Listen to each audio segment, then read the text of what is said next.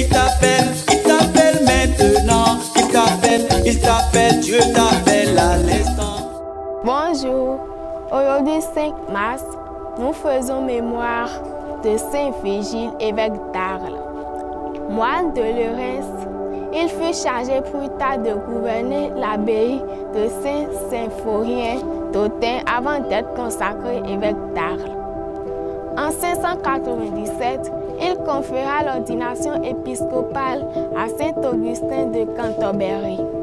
Le même pape Saint Grégoire le Grand lui témoigna sa confiance en lui demandant de régler en son nom diverses affaires de l'Église dans les Gaules. À Arles, en province, vers l'an 618, Saint Vigile, évêque, donna l'hospitalité à Saint Augustin et ses moines qui se rendaient en Angleterre sur la recommandation du pape Saint Grégoire le Grand. Nous faisons aussi mémoire du bienheureux Christophe et de Saint Clément.